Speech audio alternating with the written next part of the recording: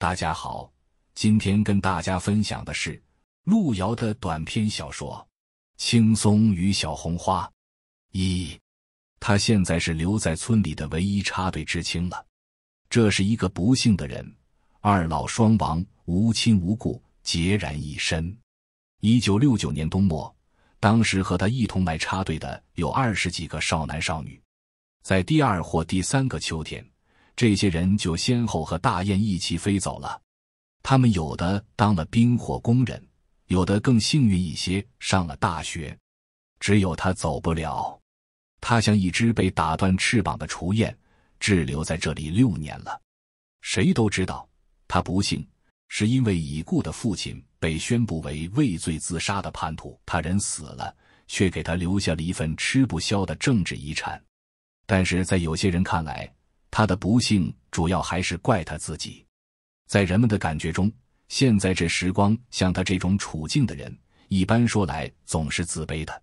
为了自己能在这个社会上生存下去，或者祈求一点小小的发展，总是时时处处小心谨慎，没锋芒，没棱角，奔跑在领导的鞍前马后，随社会的大潮流任意漂泊。但不幸的是，吴月琴没有这种认识。以上所说的那些美德，他连一点也没有，相反，却表现出一股傲气。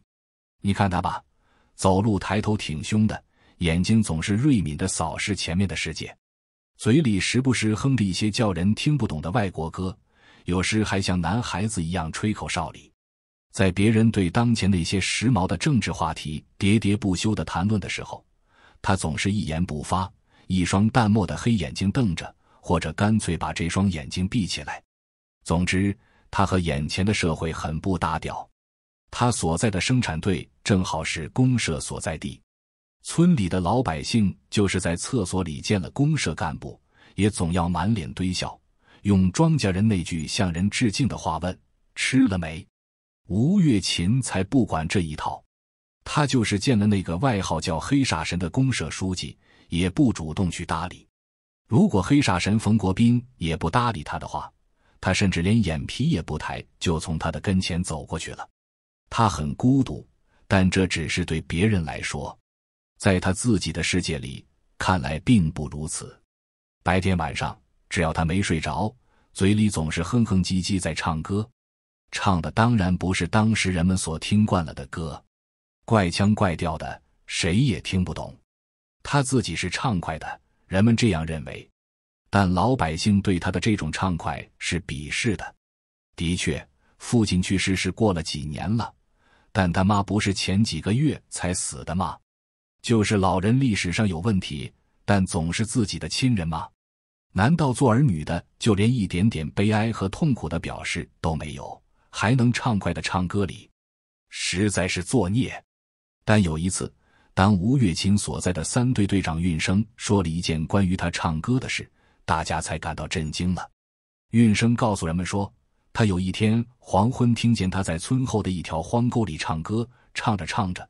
歌声猛然间变成嚎啕大哭了，啊，原来是这样！村里的人终于明白一些他那古怪的脾性了。生活中谁没有过这样的体验呢？当巨大的痛苦压在人心上的时候，人有时的确不是用眼泪，而是用歌声来排解忧愁。这歌声是比眼泪更酸楚的。由于吴月琴的这一切，他在公社是很出名的。甚至县上的干部也都知道南马河公社有这么个女子，再加上和他一块从省里来插队的知青差不多都走了，他几乎成了这个公社唯一操外露口音的人了。而且又是这么个人，还是个女的。所有这一切，他必然被人注意和议论。他呢，装个听不见，照样我行我素。不久前，他用粗劳动布自己裁缝了一条裤口稍微敞开的裤子，全公社当然又当作稀罕事，立即议论开了。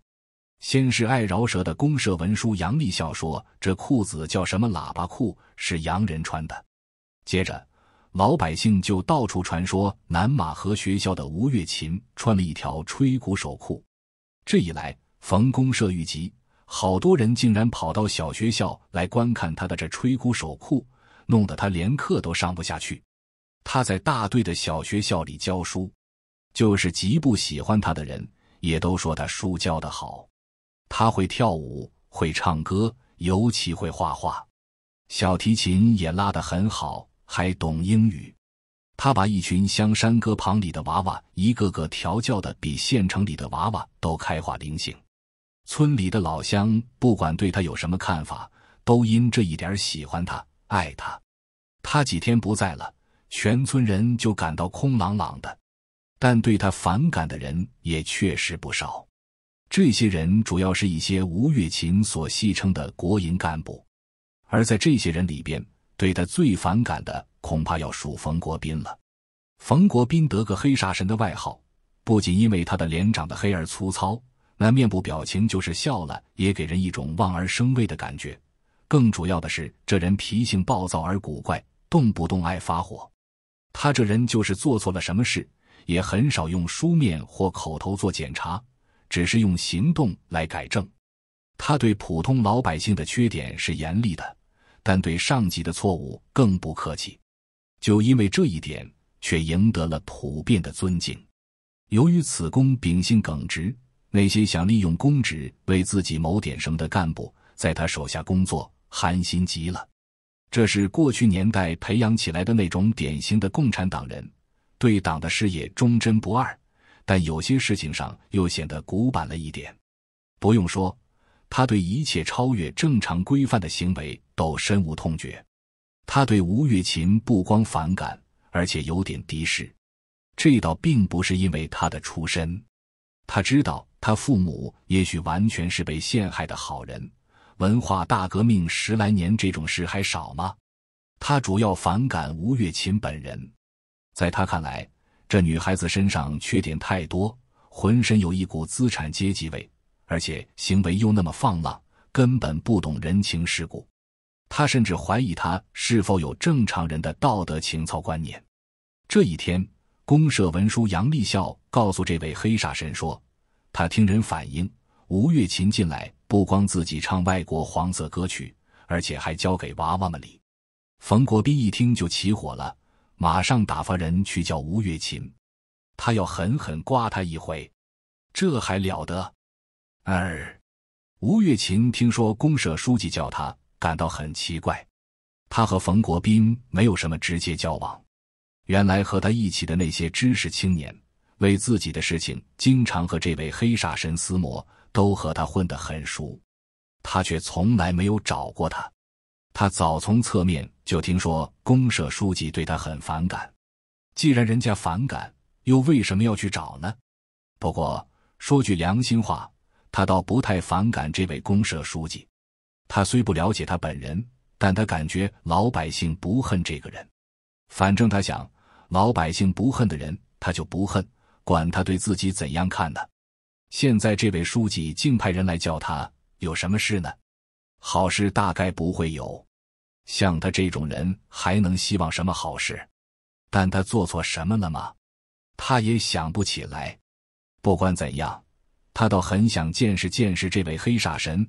看他究竟有怎凶，他还能把他一口吃了吗？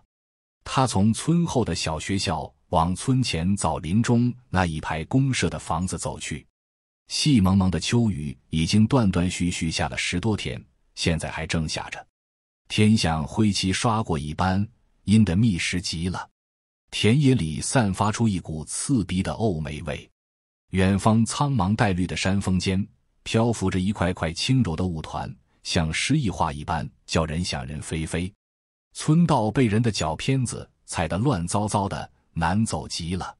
他没有打伞，也没戴草帽，眼睛盯着脚下，很小心的走着。他的外表看来和他的性格不尽相同，一身自己裁剪的衣服，很妥帖的勾勒出了他那健美的身材，端庄而漂亮的脸，皮肤细白红润。长长的眼睫毛护着一双水一般清澈的眼睛，看起来很单纯。头发用一根绿毛线随便在脑后一挽，结成蓬松的一团。现在这蓬松的黑发上沾着一些细小的雨水珠，像撒了一些碎银屑。在粗犷雄浑的高原大地上，它就像一朵开得很娇嫩的花，可以想象，他为了不使自己在霜雪风暴中枯萎，付出了什么样的代价。吴月琴带着一身潮湿走进公社书记的房子，书记正端正而严肃地坐在办公桌后面，两条胳膊放在油漆剥落的办公桌上，浑身上下一副老农民的穿戴。他看来是专门等待和他谈话的，可是对他的到来竟一言不发，这使他站在地上窘迫了一会。他很快知道他遇到了一个脾气古怪的人。他也不说什么，就坐在他对面的一张椅子上。他扭头去看墙上的一排关于本公社农业方面的表格，实际上是把脸对着这一摊数字，而不是看。他进来到现在，虽然没认真的看一眼书记的脸，但感到那张脸是不友好的。整个屋子里弥漫着一种爆炸性的空气，他实在感到奇怪。他做错了什么事，要受到眼前这种对待呢？他觉得这是一种压迫，他不能忍受，他要反抗，但他不准备先开口，让桌子后面那个有权力的人先吼雷打闪吧。他不害怕这些，这十来年里，什么样的压迫和打击他没受过？你吃晚饭了没？冯国斌终于开口了，但声音出奇的平静，这倒使吴月琴吃了一惊。不过。他听出来，这显然是压抑了的一种爆音，就像炸雷前面的一道闪电。吃了，他不在意的回答：“你这个人太不像话了。”冯国斌终于怒吼了。这突如其来的一击，使这位平时看起来什么也不惧怕的姑娘也不禁微微一颤。他的目光马上像针被磁铁吸着一般，钉在了冯国斌的脸上。这下他看清了那张全县闻名的脸，黑乌乌的，就像一块粗糙的铁。此刻又被愤怒的拉力所扭歪，一道道皱纹看起来像裂纹一般。右边脸上有一个伤疤，刚好掠过眉梢和眼角斜劈下来，像一个触目的惊叹号。这大概是战争留下的纪念。我怎了？他声音平静地问。此时此刻。这样不露声色的平静，至少和冯国斌的怒吼同样有威力。那张铁板一样的脸，好像也为这点而稍微震动了一下。冯国斌不理睬他的发问，继续吼喊他的：“我看你这个人是不可救药了，你情愿走啥路里？可你不能给我把那群娃娃也引到黑水沟里去。我看，冯书记，我究竟怎了？”吴月琴打断他的话，激动的眼睛圆睁，满脸通红。我看你算了，别教书了，回生产队劳动去。冯国斌断然把头扭到一边去，拿起旱烟锅，在烟袋里狠狠挖起来。我究竟怎了吗？您必须把话说明白。我可以不教书，但您必须说明白，我做错什么事了？你还装啥糊涂哩？你给娃娃们教了些啥外国人的酸歌？冯国斌手里端着没点着火的烟锅，声色俱厉地问。吴月琴一怔，马上嘴角浮起了一丝嘲讽人的微笑。他说：“您误会了，这不是外国歌，是我自己编的一首儿歌，只不过是用英语给孩子们教的罢了。我想这样可以一举两得。”孩子们既可以学唱歌，也可以学英语。再说，歌词也不是酸的。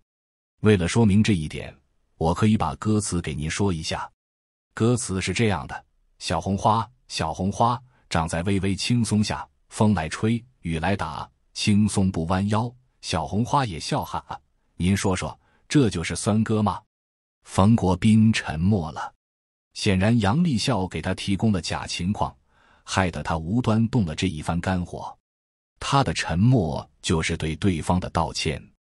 不过他只沉默了一会，也就是说，对刚才的事道歉完了以后，又很凶的说：“你自己唱外国酸歌，这总是事实吧？”吴月琴还是那副不在意的样子，说：“我是爱唱一些外国歌，您所说的酸歌，我倒不知道怎个酸。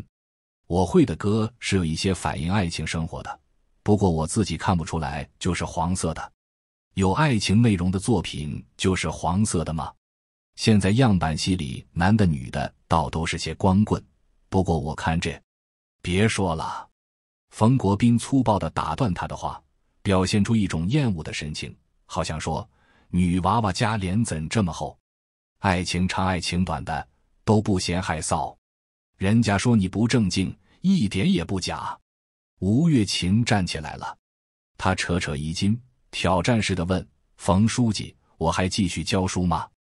略停了一下，他也不知为什么，非常动感情的又补充说：“还是让我教吧。您也许不知道，我现在离开这些孩子，说不定要发疯的。”冯国斌手在黑脸上狠狠摸了一把，一言未发。他拧过身，擦着一根火柴，点燃了那锅旱烟。尽管接触很短暂，吴月琴已经摸着了这位黑煞神的脾气。他的这种沉默，就是对他的问话的肯定答复。不知怎的，他竟然感激的瞥了一眼他生铁疙瘩般坚实的后背，便很快挪动脚步出了房门。外面的雨继续下着，村对面远远的山峦已经变成模糊的一片了。黄昏已经临近。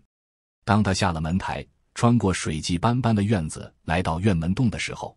公社文书杨立孝正端着一老碗面条往嘴里扒着，他吃得满头大汗，热得光穿个白衬衫，蓝凡利丁裤兜里炫耀似的伸出一根拴钥匙的镀金链子，挂在裤带上，明闪闪的。他见他走过来了，很快把右手里的筷子塞到端碗的左手里，抬起胳膊分别摸了一下偏分头的两边，咧开嘴对他笑了笑，说：“冯叔继续你的话，我全听见了。”哎，这个人嘛，就是这么个老古板，你也别计较。不过你以后也要注意礼。你不看如今正狠批崇洋媚外吗？吴月琴向来对这个人是反感的，他像《创业时》里的孙水嘴一样叫人恶心。他轻蔑的一笑，指着这位文书的白衬衫说：“你在镜子里照照你自己吧。”说完，他便匆匆出了大门洞。杨立孝莫名其妙的看了看自己的胸前，立即脸臊得通红。他那件白衬衫是进口化肥口袋改裁的，尽管不知洗了多少遍，上面还隐隐约约看见“日本产尿素”几个字。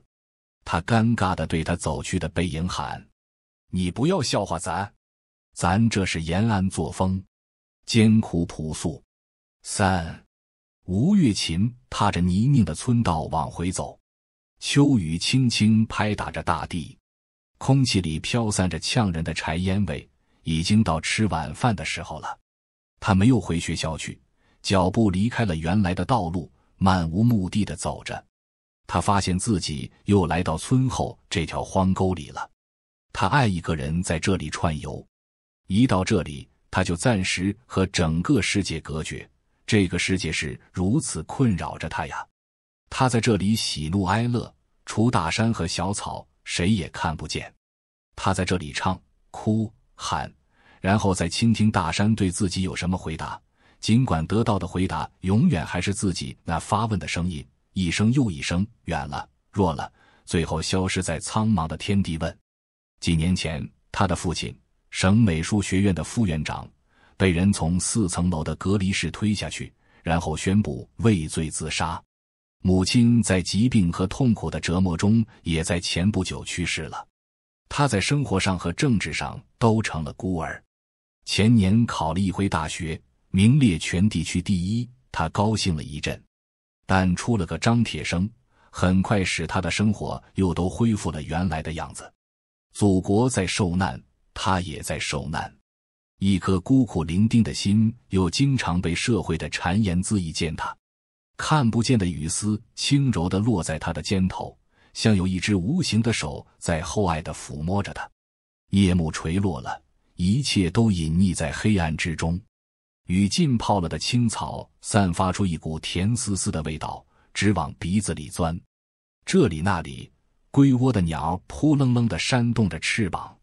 他在熟悉的路径上慢慢踱着步，什么也不怕，不怕狼，不怕鬼。不怕黑暗，他的遭遇已经够坏的了，他还怕什么更坏的遭遇吗？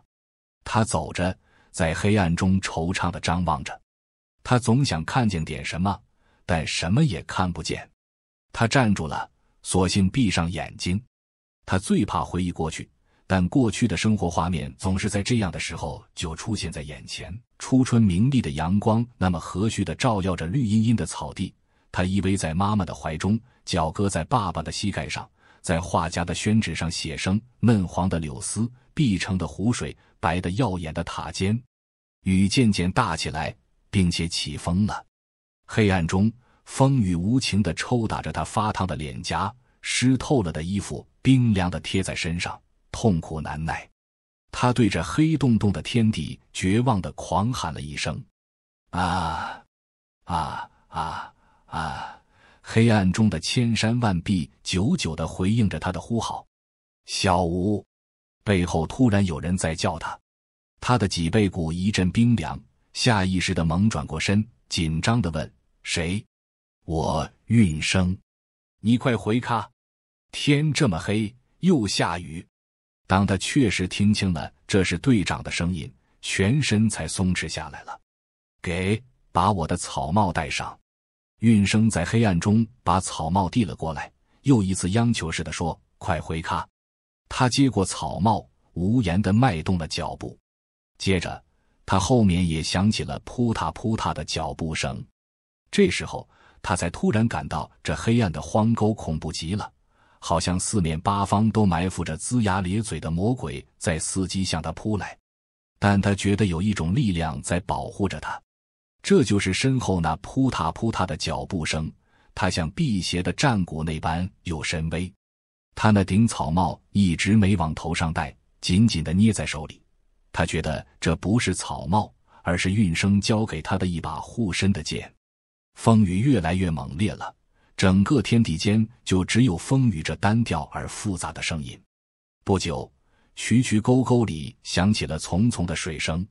村前河道里的涛声也陡然间长高了，他一边跌跌撞撞的走着，一边问运生：“你怎知道我在这里呢？”运生在他不远的背后回答：“不光今天，你每次来这荒沟，我都知道。我常就在那小土凉凉后面里。我怕你寻短见，小吴，你可千万千万不要往窄处想啊！今天我知道冯书记叫你去了。”老冯是好人，脾气不好，你不要计较。一股热辣辣的激流登时涌上吴月琴的胸膛。他想，在这几年里，如果不是这个朴实的后生和他那善良的老妈妈亲骨肉般的关怀他，他的情况谁知还能坏到什么地步？他病了，他给他砍柴担水，他的老妈妈没明没黑守在他身边熬药喂汤。他为了使他有条件继续学习。跑上跑下说情，让他在队里教了书。已经到村头了，吴月琴抹了一把脸上的雨水，也抹去了眼角的两颗泪珠。他站下等运生走近了，把草帽递给他。黑暗中他看不清他的脸，但感觉到了他那庄稼人亲切的气息。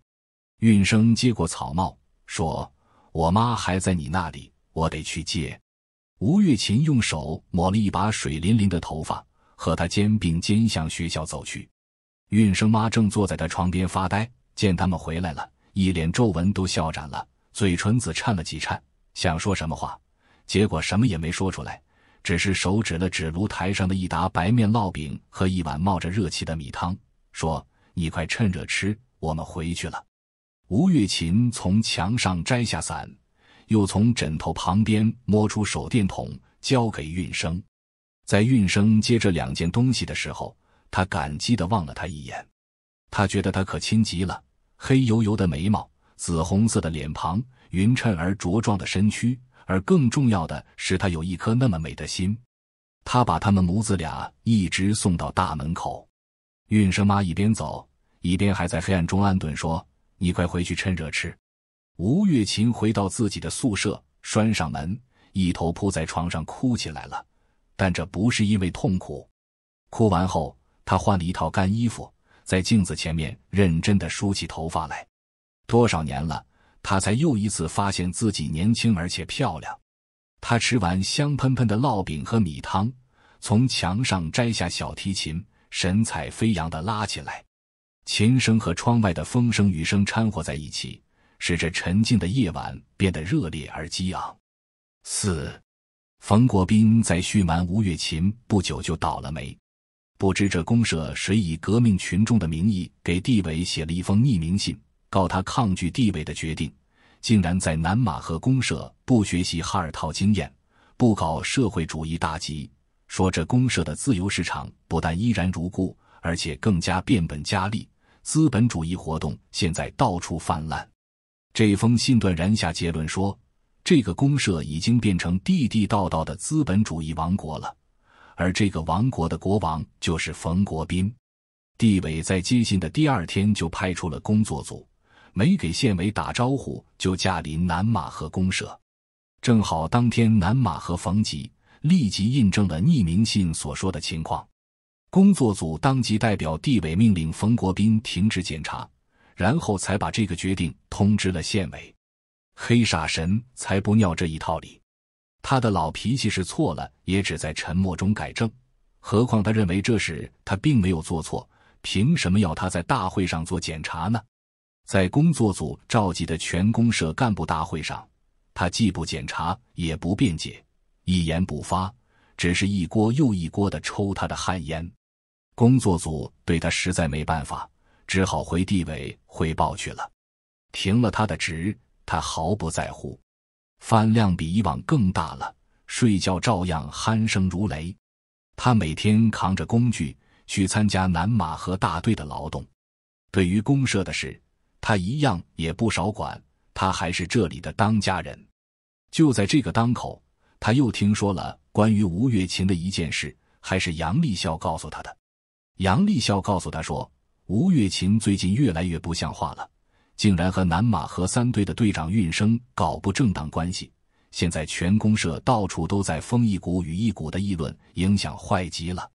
冯国斌听了这话，感到非常震惊。本来通过上次谈话，这个女孩子的形象在他的脑子里已经有所改变，尤其是她的那种不屈服的性格，给他留下了蛮不错的印象。尽管他没明说，但他喜欢她的这一点。想不到现在又发生了这等歪事，现在他隐隐约约感觉到，他以前对这个女孩子关心不够，何止是关心不够，他实际上从来就没关心过她。他现在才认真的考虑到，生活在他所领导的土地上的这个女青年遭遇和处境是多么不幸啊！她什么依靠也没有，有那么多的本事和特长，又哪里也去不了。多少年来就屈在这个香山阁里，二十大几的人根本没法考虑较满意的婚姻。如此险恶的遭遇和命运，难道不能逼得一个人堕落吗？他想，如果这个女孩子真的堕落了，实际上他也是有责任的。他以前是有可能帮助她一点什么的，但他没有这样做。想到他对一个不幸的人这样不关怀，他难受极了。所以，尽管他自己目前的处境也不佳，但他还是准备和他谈一次话。这次他不准备叫他到公社来，他要亲自找上他的门去谈。这也包含了一种对不起他的意思。这一天，他在南马河打坝工地上带着一身土腥味回来，匆匆扒了炊事员留下的一老碗红豆角角干米饭，脸也没擦一把，就向南马河小学走去了。已经是掌灯时分了，秋夜晴朗的天空，星星一批跟着一批出现。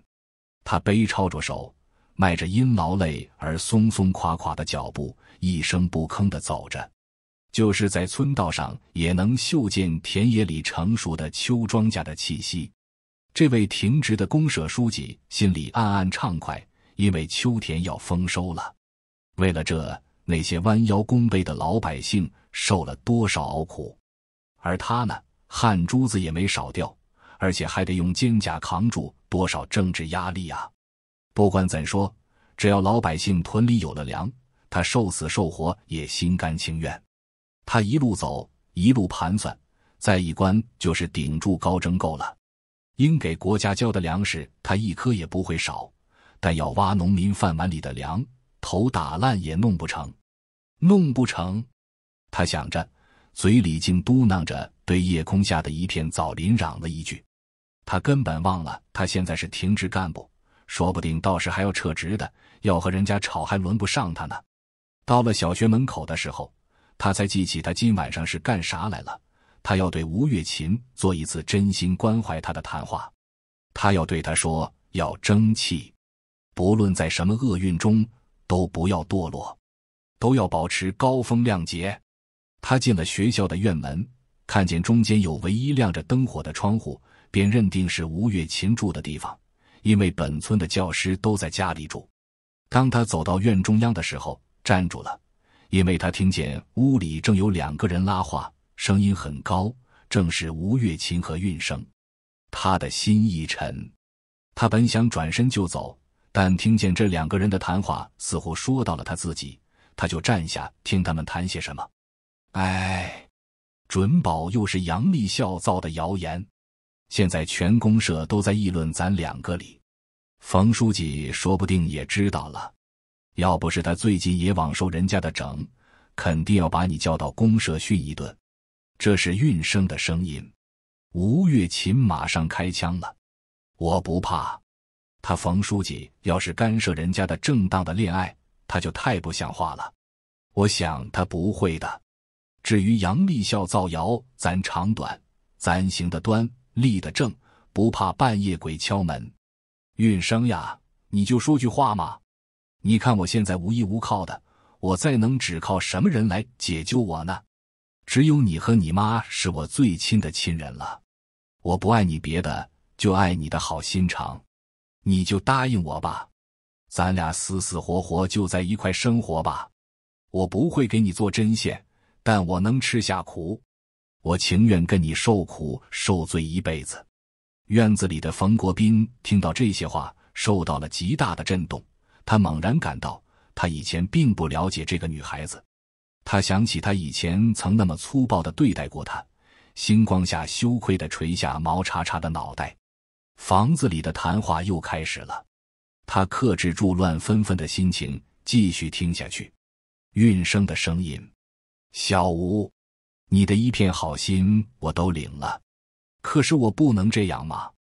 我是个土包子老百姓，只念过三天两后晌的书，我的开展就在这土疙瘩林里呢。你是个知识人，你应该做更大的事，你不应该一辈子屈在咱南马河的香山歌里。国家总有一天会叫你去办更适合你干的事。你要是和我结了婚，也就等于我把你害了。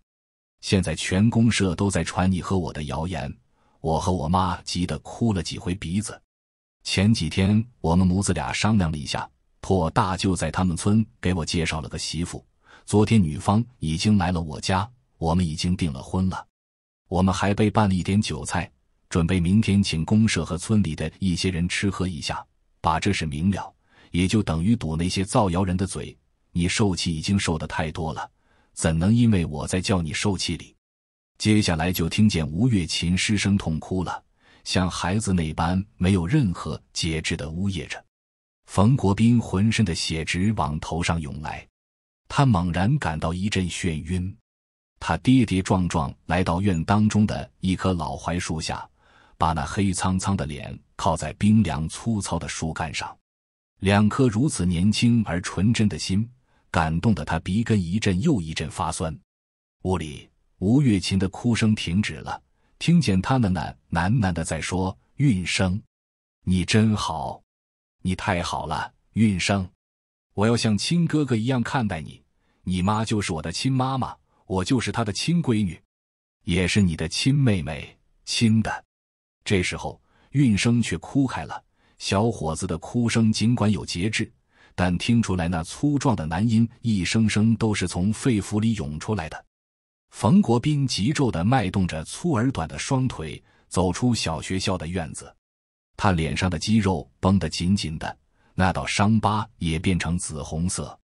他的神态就像护犊的老牛那般愤怒。他觉得这社会有一些凶犯在坑害这些娃娃。他如果现在一伸出手就能抓住这些坏蛋的话，他马上就会用他那握过老镢头的手把他们的脖子卡断。同时，他也想到在这些娃娃受磨难的时候，他却没有帮扶他们一把，心像刀扎一般难受。他妈的！他走到河湾里，对着月光下的大山狠狠的咒骂了一句，接着像一个神经失常的人，双手从路边举起一块老石头，咚，一声扔进了路下边的一个深水潭里。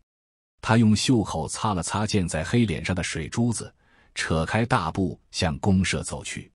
冯国斌在自己的桌子上留了一张纸条子，门也没锁，就登上自行车向县城奔去。两小时后，他出现在县委书记张华的办公室里。县委书记正在铺床，看来准备要睡觉。冯国斌此刻的到来，显然使他吃了一惊。他愣了一下，很快笑着迎上去，叫道：“哎呀，你这个家伙，黑天半夜像一头狗熊一样闯进来，把人吓一跳。怎搞的？忙得就连头发都顾不得理一下吗？”冯国斌牙一呲，算是对这个玩笑的回答。他提起暖水瓶，在书记喝剩的半缸紫茶里倒满水，端起来一仰脖子，喝了个精光，嘴角上还沾了一片茶叶子。张华端出糖盒递到他面前，他伸手抓了两块，笨拙的剥掉纸，把两块糖都扔进嘴里，一屁股坐在沙发上嚼起来。看来他十分疲倦，暂时不想开口说什么。张华微笑着盯着他，坐在办公桌后面的圈椅里。县委书记个头高大，穿着一套松松垮垮的衣服，大背头黑油油的，开阔的前额在灯下闪着光泽。他神态安详，给人一种学者的风度。只有那张被太阳晒黑了的脸，说明这是一个长期搞农村工作的人。他亲热的盯了一会冯国斌，才开口说。你大概是为停职的事来的吧？好一个黑煞神！地委的通知，十七个公社都不敢顶，你这个灰汉给顶住了。怎么现在吃不消了吗？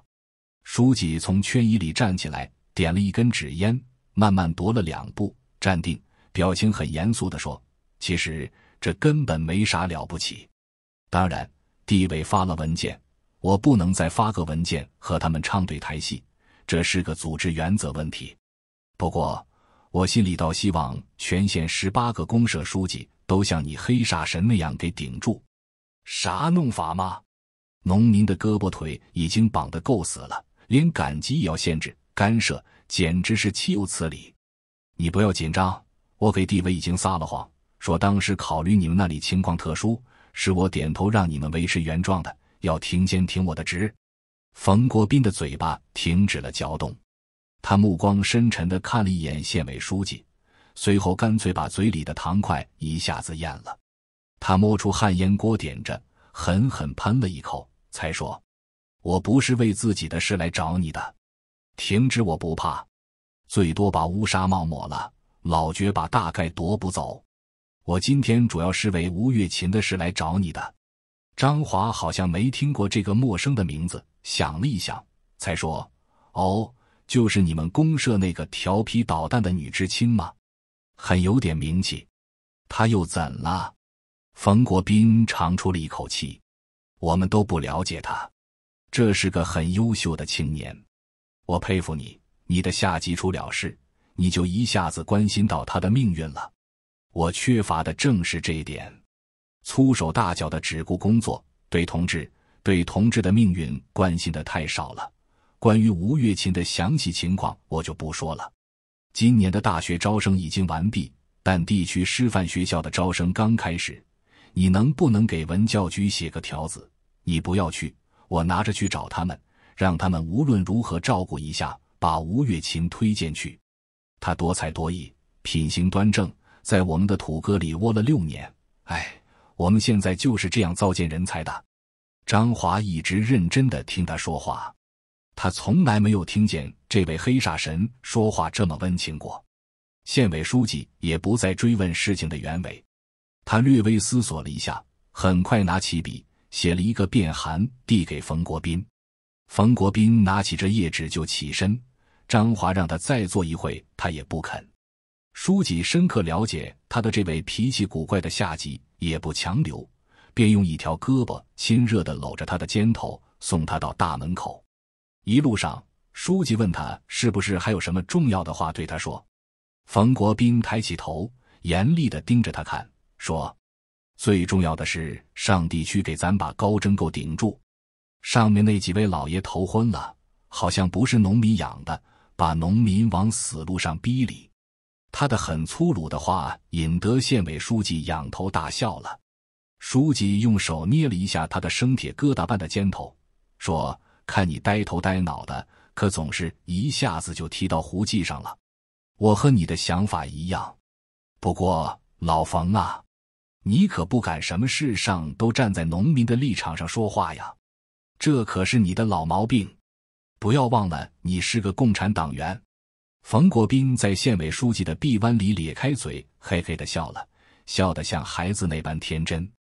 五，经过昨天晚上一场感情的大激荡以后，吴月琴的内心平静了。他的一切看起来还是老样子，但精神上经历了一次庄严的洗礼。他从运生和运生妈妈的身上看到了劳动人民的高贵品质。这些品质是什么恶势力都无法摧毁和扭歪的。这些泥手泥脚的人，就是他做人的师表。他不想再抱怨生活对他的不公平了，而要求自己在这不公平的遭遇中认真生活，以无愧于养育自己的土地和乡亲。他要一生一世报答这些深情厚谊。他好像一下子老成了。那双春波荡漾的眼睛一夜间变得像秋水一般深沉。他把那条为了在寂寞无聊中寻求刺激而胡乱做成的所谓吹鼓手裤，悄悄塞到箱子底下，换上了一身洗得发白的蓝学生装。早晨，他去井边挑水，杨立孝不知从什么地方冒了出来，几乎是对他喊着说：“哎呀，小吴，你知道不？”冯国斌为咱社的自由集市问题塌台了，地委已经停了他的职，叫他检查，他又不检查，人家工作组又上去反映去了，他慌了。昨天晚上连夜骑了个车子直奔县上，大概是搬张华那条粗腿去了，哈，还留了个条子，说今早上就回来呀。看慌成啥了？他前几天不是还板着脸刮你吗？现在轮到人家刮他了。吴月琴看见他对别人的不幸如此幸灾乐祸，心里气愤极了。平时他不是对冯书记那么尊敬和恭顺吗？老冯现在倒了霉，他就变成了这么一副嘴脸。杨立笑原以为吴月琴听了他的话一定会笑逐颜开的，想不到他那么厌恶的对他板着脸，他感到很不自在，抬脚晃手的走了。吴月琴牙咬着嘴唇。怔怔的立在井台上，忘了打水。前几天他已经听到了关于老冯的情况，他当时认为老冯这个硬汉子是不会屈服的，别有用心的人也把他怎么不了。现在他听说冯书记本人也为这事慌了，并且连夜骑车上了县委，感到非常吃惊。上次老冯虽然训了他一顿，但他不记恨，相反，后来细细一回味。他反倒在心里尊敬他，虽然第一次打交道又那么不和气，但他马上感觉到这是一个直心肠的好人。他喜欢这种性格的人，他觉得在他面前自己什么话都可以倒出来。他又想到这个人没明没黑的为老百姓操劳，像一头又倔又吃苦的老牛，还得时时用两只脚顶碰各种各样的压力。他目前倒了霉。但不是为了自己的利益，为自己的利益而倒霉的人活该。他是为了全公社的老百姓才受到这样的打击，他是为大家受了苦，而他现在的心情又这样焦灼，说明事态也许已经很严重了。他不知为什么觉得自己应该立刻去找他，他上次对他太不礼貌了，他强烈的产生了要向他道歉的愿望，并且也想给他说些宽心话。叫他不要熬煎，老百姓是站在他一边的。他吃完早饭，过了好一会，估计老冯大概已从县上回来，就匆匆到公社去找他。他到了公社，却扑了个空，老冯没回来。事情是不是真的严重了呢？他十分不安的出了公社的院门洞，忍不住向通往县城的公路上眺望。不知为什么，他固执的想很快见见他，给他说几句宽心话，好像他的几句话就能把厄运中的冯书记救出来似的。他索性顺公路往前慢慢走去。他甚至孩子气的想：如果他把脚下的这颗小石子一脚踢到前边那个小土坑里的话，冯书记就会马上回来的。如果踢不进去，老冯今天就不回来。于是他就提心吊胆的去踢这颗小石子。真的像这颗小石子的着落，就决定冯书记回来不回来似的。小石子没踢到土坑里去，他失望的叹了一口气，正准备返回去，却突然发现远处拐弯的地方闪过来一辆自行车。他紧张的盯着看了一会，高兴的咧嘴一笑：“是老冯回来了。”他心里想：刚才说错了，应该是小石子踢不进土坑里的话，冯书记就马上回来呀。满头大汗的冯国斌看见了吴月琴，他从车子上跳下来，诧异而兴奋的看着他，问：“你在这里干啥呢？”吴月琴不好意思的笑了笑，然后很直率的说：“我在等您，有什么事吗？”冯国斌撑起车子问：“没，冯书记，我想安慰您几句，您不要熬煎，您没错，您是好人。”您放宽心，您他原来准备好的一摊话，此刻全不知道该怎么表达了。他甚至忘了，首先应该为上次的事给他道歉。但是冯国斌在他一串急促的短句中，已经全部感受到了这个女孩子的一片赤诚之心。他抹了一把黑汗滚烫的脸，温厚的看着他，一双饱经风霜的眼睛湿润润的。他感动的想。这个女孩子是多么需要人安慰她呀！可是她却来安慰别人。他略微考虑了一下，然后对她说：“你回去很快准备一下，到地区师范学校上学去。我这次到县里，就是专门为你办这事的。”吴月琴的脸一下子变得很苍白。这突如其来的消息使他的脑子轰地点着了一团火。啊！几年来。谁告诉过关于他的好消息呢？他做梦也梦不见自己会有这么好的事。他吃惊的站了一会，一转身，双手捂住脸哭了。冯国斌望了望他剧烈耸动的肩膀，用粗硬的手指头抹去了自己眼角的两颗泪珠，漠然的把目光投向黄绿相间的远山。吴月琴又转过身来，捂着脸的双手垂落了，语气坚定的对冯国斌说。不，老冯，我不能去。我看见了您的这一颗纯正善良的心，正因为这，我不愿让您为我受连累。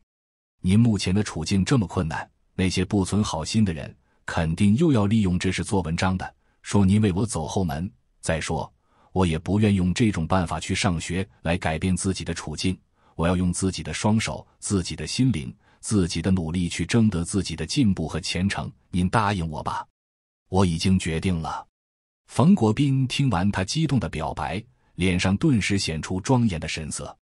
他背抄起手，在公路上来回走了几遭，然后站定，望着等待他做出回答的那张激动的脸，说：“如果因为前面的理由不去，这完全用不着你操心；如果是因为后边的理由不去，那么我没有话说。”但是我要对你说，孩子，我是真心实意的想为你做点事，以弥补我以前对你的不能饶恕的过失。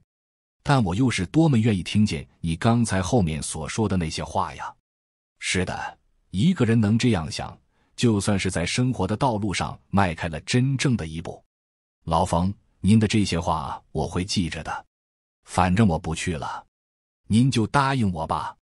冯国斌黑苍苍的脸上露出了父亲满意自己儿女的那种笑容，挥了挥手说：“那好吧，咱们回去。”他推着自行车，他跟在他身旁，一老一少迎着升高了的太阳向公社走去。